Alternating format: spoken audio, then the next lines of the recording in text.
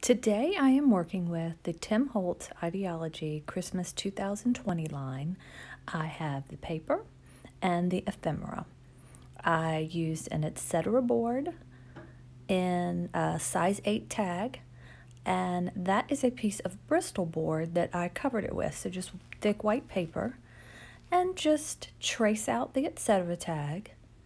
I chose a piece of plaid paper from his mini Christmas stash. I think that's what he calls the paper pad.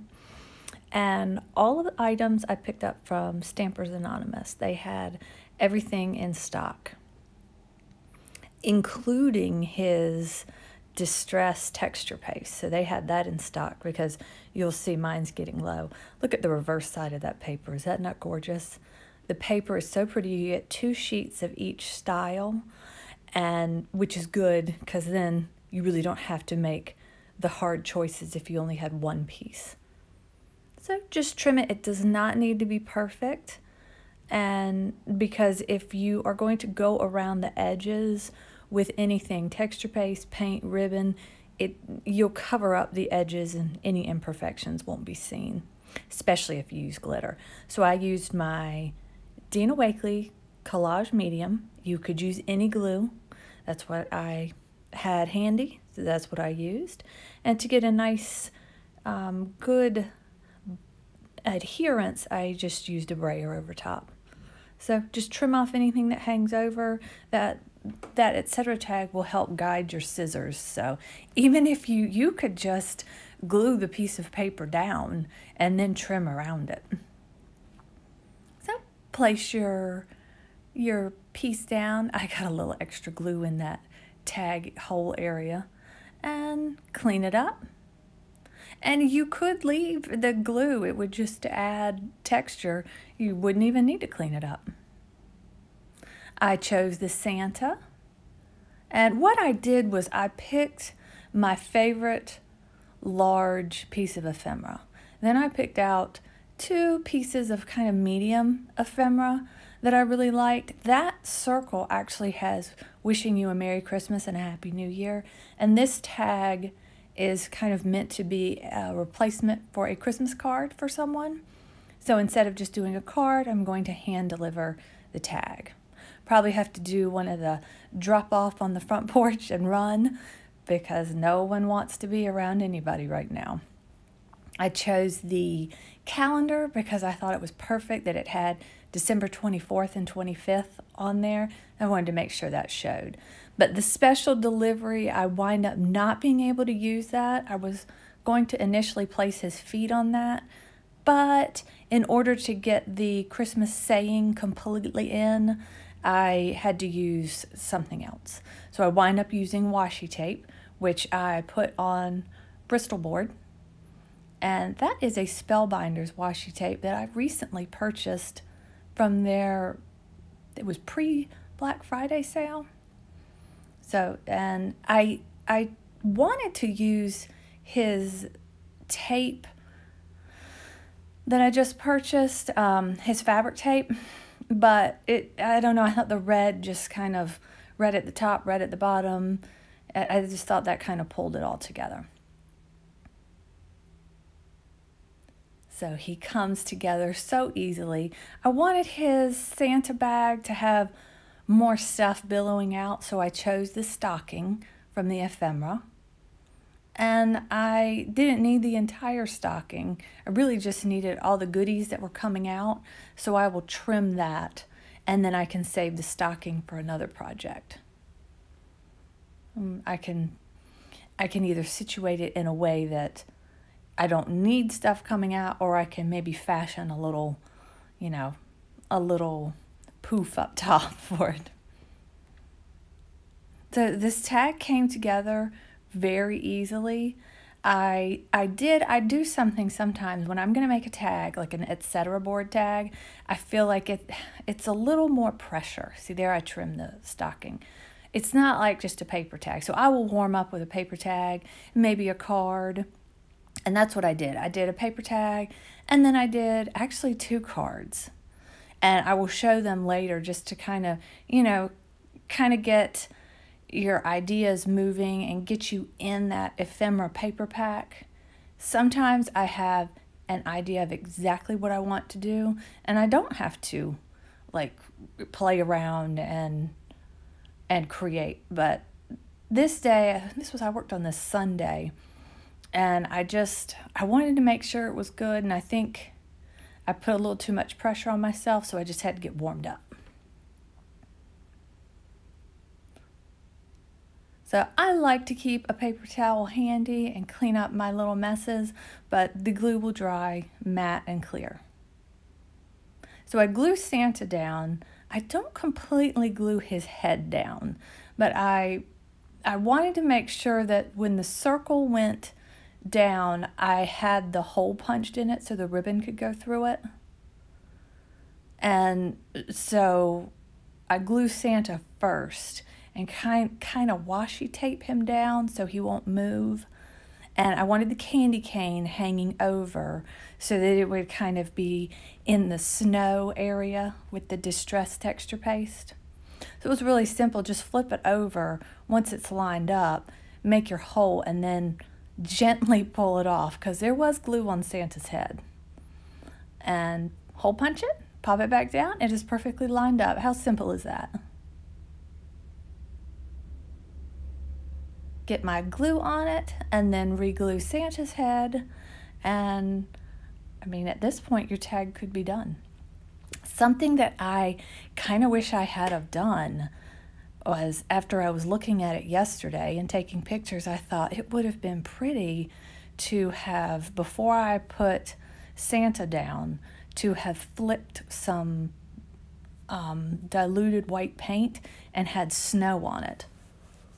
I thought that would have been very pretty. So when I make my next one with my next Santa, I will do that. I probably won't make another video just because I feel like I'm bombarding you guys with these etc tags, but I I really wanted people to see just how easy they are. And if you do one, it's like, well, that looked easy, but if you do, you know, a few, you can say, well, that does kind of look easy. Let me try that the hardest part is picking out your paper. And once you get the etc. tag covered, I don't know, it's just smooth sailing from there. Because I guess you have your ideas going. So, super sped this up so you could see me put the snow on it with the texture paste, but you don't need to waste time. We're busy. We need to get things moving, right? so simple. It makes such a difference to edge it with something. And then I leave it to dry. Simple as that. I'm back. So I just let it dry overnight. It doesn't take that long to dry, but I I I take like 15 minute intervals with these when I work on them. So it winds up sometimes i just come back the next day so i put some stickles on it because i wanted glitter but i also wanted glue because i really wanted to add his distress rock candy glitter. I really wanted this snow glittery because nothing on him is glittery. And i i wind up putting stickles where the snow is on the piece of ephemera where his feet are and it really looks pretty. You cannot see um, as much of the detail as you know as if you have it in your hands but it it really kind of makes the snow more subtle and blend in with that texture paste. So so easy. Just smooth it around with a paintbrush and you can see that I am not being careful. I'm actually kind of going over the edges and rubbing it off with my fingers and and I kind of wanted it to be um, a little on the messy side so that when the glitter went down, it wouldn't be so precise. It would be, you know, very scattered like snow. That's why little paint drops would have been nice in the background. But I don't typically reach for my paint to do little little splatters, but I think for when you're doing snow, that's a nice touch. I use some of those little confetti pieces of snow instead. Like it just didn't occur to me to do that. And a stencil would have been nice too in the areas that you just see the paper. That would have been nice. See, I really got his feet glittered. Well, the snow around his feet. And then the little candy cane washi tape looks like he's walking down candy cane lane. So that's it. He's done. And I will clean up my glitter over my trash can so I don't spill it on my table.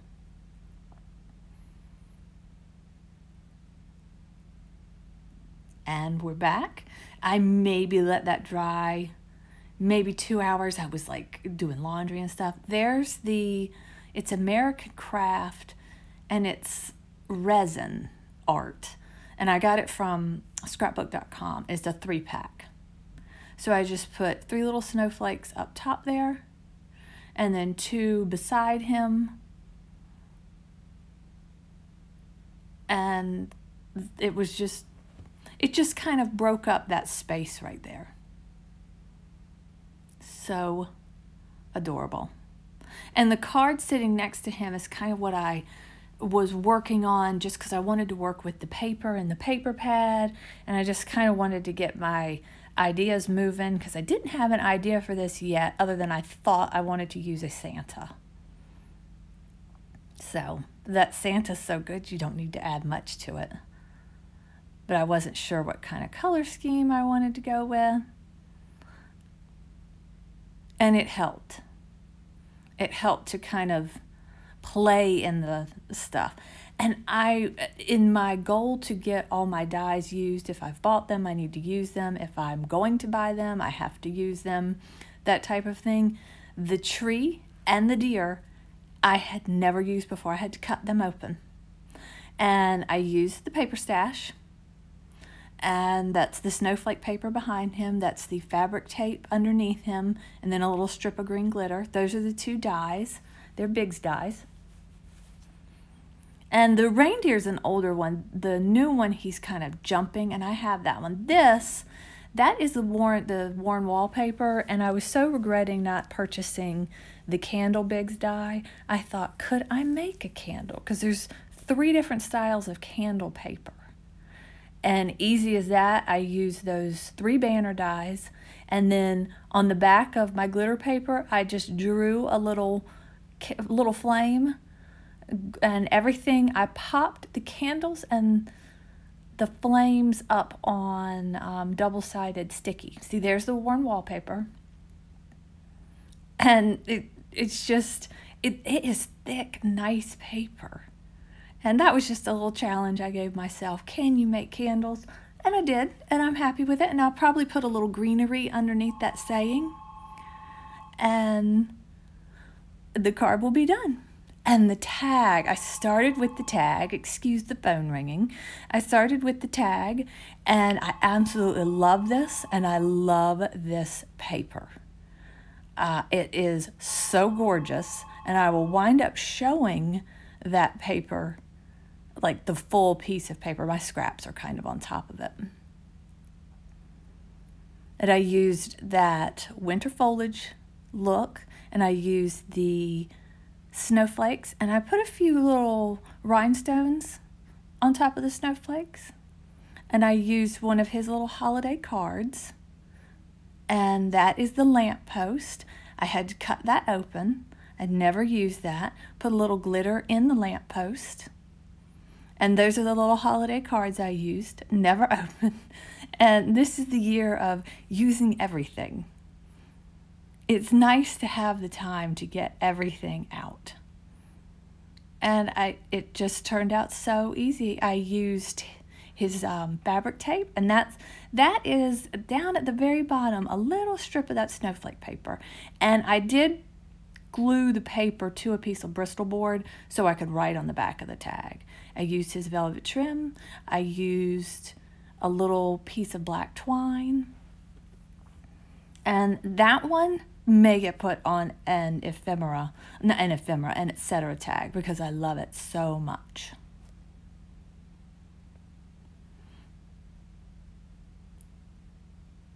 And of the candy cane stripe above season and below season is just that washi tape on a piece of white paper just trimmed so the washi tape pops and you really see the candy cane. So here I just thought, well, people might want to see a quick flip through while I'm waiting for these little snowflakes to dry and just see how pretty this paper really is. See if you want to add it to your collection. Here's where I show this. I just, that might be my favorite piece of paper in the whole pack. And I'm not big on flowers and things, but I love that paper. I think the colors are just gorgeous.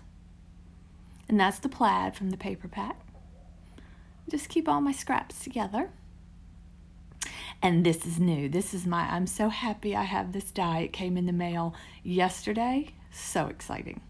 So I let everything dry, came back, chose my ribbon.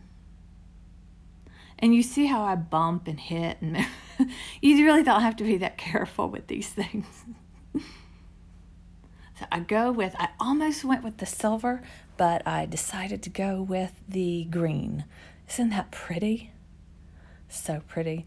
And just twist that kind of tight so I can fit it through that small little opening